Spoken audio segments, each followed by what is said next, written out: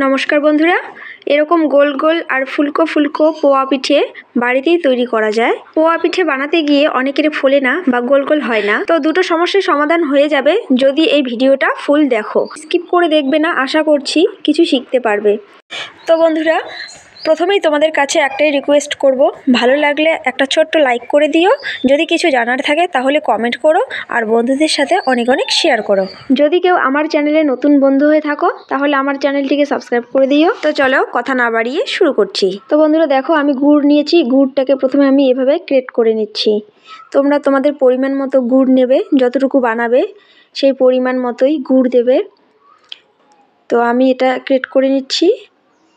এই শীতের দিনে ফুলকো ফুলকো পোয়া পিঠে খেতে ভীষণ ভালো লাগে। বিশেষ করে যখন বাসি হয়ে যায় পিঠেটা, তখন খেতে আরও ভীষণ ভালো লাগে। তো বন্ধুরা, দেখো গুড়টা ক্রেট করা হয়ে গেছে। দিয়ে দিচ্ছি পেস্ট করা আদা আর একটু কালো জিরে। কালো জিরেটা দাঁতের নিচে যখন পড়ে না পিঠেটা, তো তখন খেতে ভীষণ ভালো লাগে। তাই আমি দিয়েছি। তো তোমরা চাইলে নাও দিতে পারো। তো এখন একটু গরম জল দিয়ে ভালো করে এভাবে মেখে নিচ্ছি। তো বন্ধুরা, দেখো আমার মেখে নেওয়া হয়ে গেছে। এরকম করে ভালো করে মেখে নিতে হবে। এরপরে একটু একটু করে চালের গুঁড়ো দিয়ে ভালো করে মেখে নিতে হবে। তো চালের গুঁড়ো আর একটু ময়দা দিয়ে দিলাম। চালের গুঁড়ো আর ময়দাটাকে ভালো করে এভাবে মিশিয়ে নিতে হবে আর একটু একটু করে গরম জল দিয়ে এভাবে মেখে নিতে হবে। একটু একটু করে দেবে, একবারে দেবে না। তো দেখো আমি যেভাবে দিচ্ছি, এরকম করে দেবে। বন্ধুরা রেসিপিটা দেখার পর তোমরা কিন্তু বাড়িতে যখন তখন বানিয়ে ফেলতে পারবে। এই পিঠেতে কিন্তু বেশি কিছু উপকরণ লাগে না। তোমরা যখন তখন, যখন ইচ্ছে করবে, তখনই বানিয়ে খেতে পারবে। তো বন্ধুরা, তোমরাও কিন্তু বাড়িতে একবার হলেও ট্রাই করবে রেসিপিটা তো দেখো, ভালো করে মেখে নিয়েছি। বেশি পাতলাও করিনি, দেখো, বেশি পাতলা করলে আবার হবে না। বেশি পাতলাও করিনি, বেশি ঘনও করিনি। তো একটু ঢেকে রাখছি, দশ মিনিটের জন্য রেস্টে রাখছি। তো কিছুক্ষণ পর দেখো ঢাকনাটা সরিয়ে নিচ্ছি, আবার একটু নাড়াচাড়া করে নেব, এরকম করে। তো বন্ধুরা দেখো কড়াই বসিয়ে দিয়েছি, কড়াইয়ে একটা এরকম প্লেট দিয়েছি যাতে সব পিঠে এক সাইজের হয়। কড়াইয়ে দিয়ে দিয়েছি সাদা তেল। তো তেলটা ভালো করে গরম করে নিয়েছি। তো বন্ধুরা তোমরাও এরকম করে বানাবে, তাহলে সব পিঠে একই রকম হবে। তো দেখো গোলাটা আমি দিয়ে দিচ্ছি। এবার প্লেটটা তেলে ছেড়ে এভাবে একটু একটু করে নাড়িয়ে দিচ্ছি, যাতে তেলটা ভিতরে ঢুকে যায় আর পিঠেটা ফুলে ওঠে। তো দেখো পিঠেটা কি সুন্দর ফুলে উঠছে। একটু এভাবে নাড়াচাড়া করে দিচ্ছি। দেখো কি সুন্দর ফুলে উঠেছে। তো যখন ওই দিকটা হয়ে যাবে, এদিকে আবার উল্টে দিতে হবে। তো দেখো উল্টে দিলাম।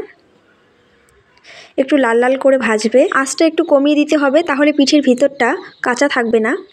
তো ভালো করে ভাজা হয়ে যাবে। তো দেখো, ভাজা হয়ে গেছে, আমি নামিয়ে নিচ্ছি। এরকম করে লাল লাল করে ভেজে নেব।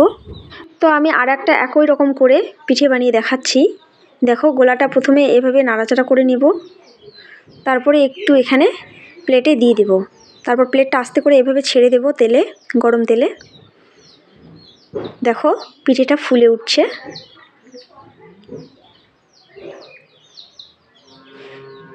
তো এভাবে একটু নাড়াচাড়া করে দেব। তাহলে দুদিকটা হবে। তো বন্ধুরা দেখো কি সুন্দর ফুলে উঠছে আমার পিঠেগুলি। তো এগুলি বাসি হলেও নরম থাকবে। তো দেখো নামিয়ে নিচ্ছি, একই রকম করে সব পিঠে আমি ভেজে নেব। তো বন্ধুরা এভাবে যদি তোমরা বানাও, তাহলে কিন্তু পিঠেটা বাসি হলেও শক্ত হবে না আর খেতে খুব ভালো লাগবে। তো দেখো একই রকম করে সবগুলি আমি ভেজে নিচ্ছি, লাল লাল করে ভেজে নিচ্ছি।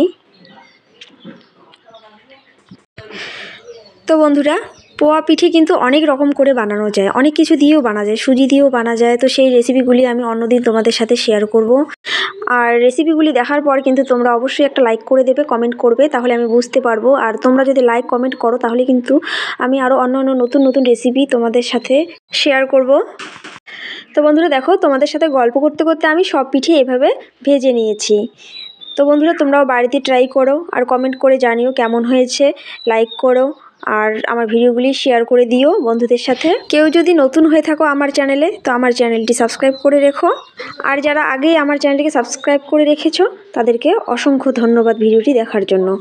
তো বন্ধুরা, আজকে এই পর্যন্তই। কালকে আবার একটি রেসিপির সাথে দেখা হচ্ছে। ততক্ষণে তোমরা ভালো থাকবে, সবাই সুস্থ থাকবে। টাটা!